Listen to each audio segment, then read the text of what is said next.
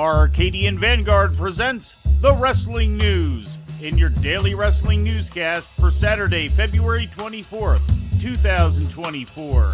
Good morning. I'm Mike Sempervive. We begin today with WWE's Elimination Chamber Premium Live event, which just concluded at Optus Stadium in Perth, Australia, and was streamed on Peacock and the WWE Network.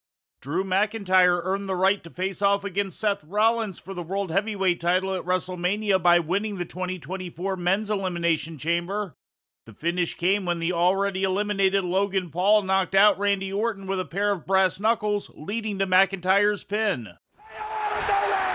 Or does he?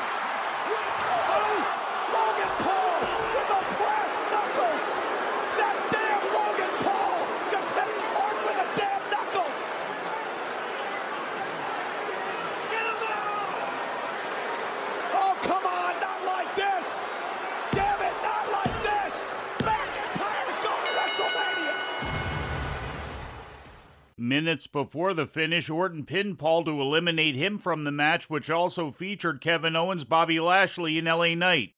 The show opened with Becky Lynch outlasting her opposition to claim the Women's Elimination Chamber match, last eliminating Liv Morgan. Other participants eliminated before the finish were Naomi, Tiffany Stratton, Raquel Rodriguez, and Bianca Belair. The victory now ensures Lynch will face off against Rhea Ripley for the Women's World title at WrestleMania. Ripley's return to her native country ended in success, as in the main event of the show, the Adelaide native repelled Nia Jax to retain the WWE Women's World title. Cody Rhodes and Seth Rollins made an appearance on the Grayson Waller Effect talk show, where Rhodes challenged The Rock for a match at WrestleMania. I, I think I have a bit of an announcement myself.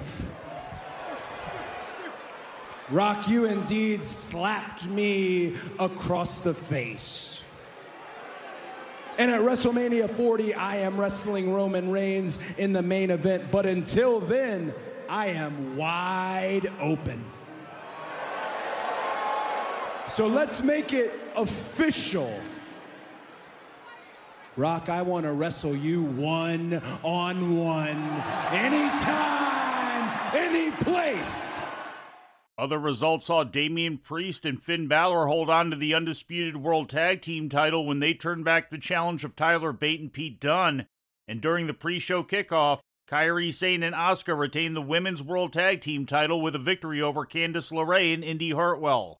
Elimination Chamber aired just a few hours after last night's WWE SmackDown broadcast on Fox and featuring matches taped on February 16th at the Delta Center in Salt Lake City. In the main event, Drew McIntyre and LA Knight battled to a no contest with a brawl involving all participants in today's men's elimination chamber match, closing out the show.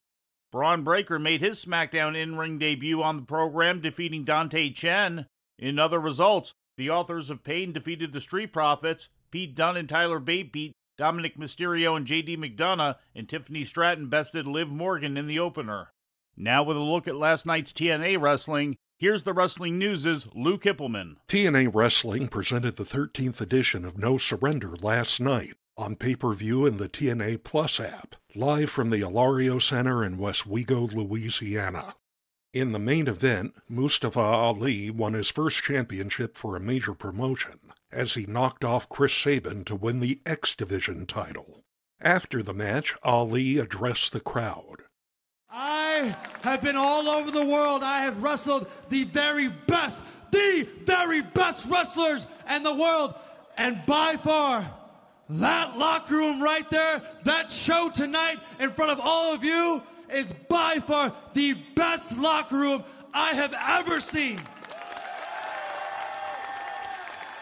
Thank you. Good night. And remember that in Ali, we trust. Moose retained the TNA World Championship in a no surrender rules match against Alex Shelley in 20 minutes and 7 seconds. Also retaining her title was TNA Knockouts World Champion Jordynne Grace, who bested Giselle Shaw in 10 minutes and 38 seconds. Ace Austin and Chris Bey retained the TNA World Tag Team title, defeating the Grizzled Young Vets in the third match of a best of three series. MK Ultra, the team of Killer Kelly and Masha Slamovich became the new TNA Knockouts Tag Team Champions by defeating Havok and Rosemary of Decay. The win marks MK Ultra's second run with the title. In other results, Josh Alexander beat Simon Gotch in Gotch's TNA debut. PCO defeated Khan by disqualification. And Eric Young beat Frankie Kazarian to earn a shot at the TNA World title during TNA Sacrifice on March 8th. This was the first edition of TNA No Surrender presented since 2019. For the Wrestling News, I'm Lou Kipilman. AEW Rampage aired on TNT last night featuring matches taped Wednesday at the BOK Center in Tulsa, Oklahoma. The main event was a three way match involving teams of three, in which Top Flight and Action Andretti won out over the teams of Matt Sydal and Private Party, and Penta El Zero Miedo, Commander, and Bryan Keith. In other selected results, Roderick Strong beat Jake Hager, and Mariah May beat Anna Jay. Turning to Japan, two former WWE talents won gold yesterday at New Japan Pro Wrestling's New Beginning in Sapporo. In the main event, Nick Nemeth, the former Dolph Ziggler, defeated David Finlay in 23 minutes and 7 seconds to become the new IWGP Global Heavyweight Champion. Also, Matt Riddle bested New Japan President Hiroshi Tanahashi to take the NJPW World TV title in 8 minutes and 53 seconds. Riddle now. We said it earlier, we could be seeing it. Got it here. Bro Stone. Matt Riddle, that's gonna be it.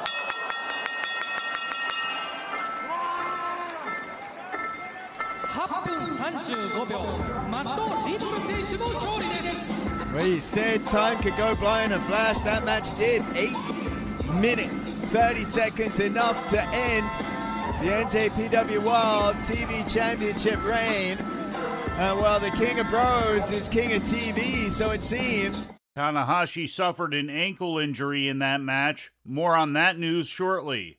The first title change on Friday's show took place when SHO defeated El Desperado by countout to win the IWGP Junior Heavyweight Championship. In other selected results from Friday, Never Openweight champion Evil retained against Shota Umino. Mayu Iwatani retained the IWGP Women's title against Mina Shirakawa, and Zack Sabre Jr. bested Yuji Nagata. Those results lead us into today's show, which was New Japan's second in as many days inside the Hokkaido Prefectural Sports Center. Hours before the event was set to begin, the company issued a statement announcing that Hiroshi Tanahashi was being pulled from the show due to a right ankle injury, presumably suffered in Friday's match against Matt Riddle. Toru Yano would replace Tanahashi in the 10 man tag team match, which also served as the final match of Kazuchika Okada as a regular for New Japan Pro Wrestling. Okada and Yano teamed with Tomohiro Ishii, Hiroki Goto, and Yoshihashi to defeat Matt Riddle, Jeff Cobb, Great-O-Khan, Francesco Akira, and Callum Newman after Okada pinned Newman. Okada's contract with New Japan expired last month, and he is expected to sign with either AEW or WWE.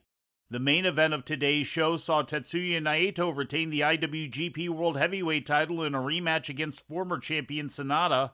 In other selected results from the show, Yota defeated Yuya Uemura in a hair versus hair match, Taichi beat Shingo Takagi, and DOUKI upset Hiromu Takahashi.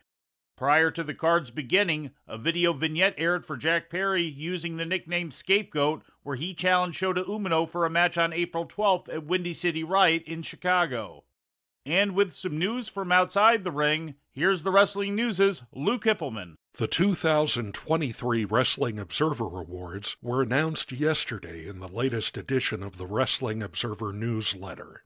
Will Ospreay won the top prize of the Lou Thesz Ric Flair Award for Wrestler of the Year, as well as Most Outstanding Wrestler. WWE was voted Promotion of the Year for the third time ever, and the first time since 2000.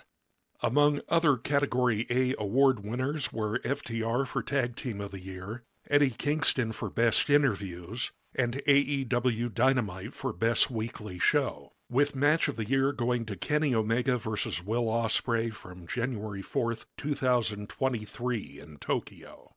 In Category B, Paul Levesque was voted Best Booker for the second time, and Nick Khan was named Best Promoter, the first time a WWE promoter has won the award since 2000.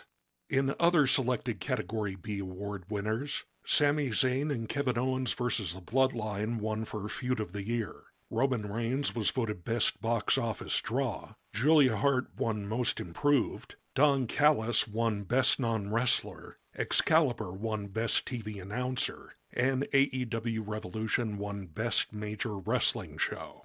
Additionally, Best Pro Wrestling Book went to The Last Real World Champion by Tim Hornbaker and Best Documentary went to the Chris Candido and Tammy Sytch episode of Dark Side of the Ring.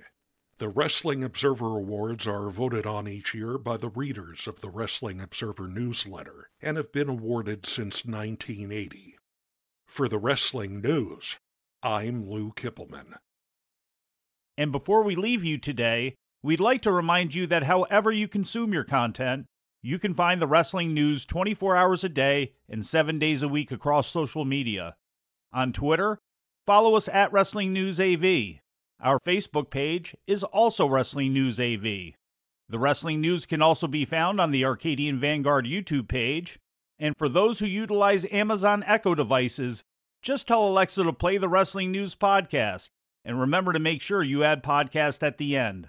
Once again, for daily updates, breaking news, and more, follow the wrestling news across social media. And that's the news for today. If anything happens, we will be here to tell you about it. No clickbait, no paywall, just the wrestling news. The Wrestling News is a division of Arcadian Vanguard, and the Wrestling Newscast is a production of the Arcadian Vanguard Podcast Network.